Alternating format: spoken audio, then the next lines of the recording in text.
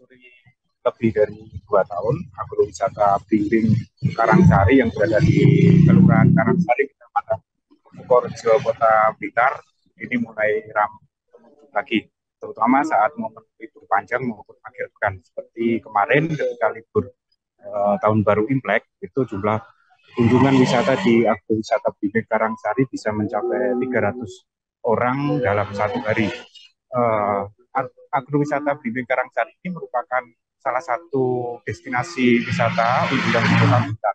Jadi pengunjung bisa menikmati hawa sejuk di bawah pohon belimbing sambil uh, memetik belimbing langsung dari pohonnya.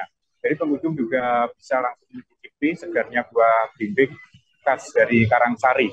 Jadi untuk tiket masuk juga sangat terjangkau, jadi tiket masuk harus 10.000. Sedangkan nanti di dalam kebun uh, pengunjung bisa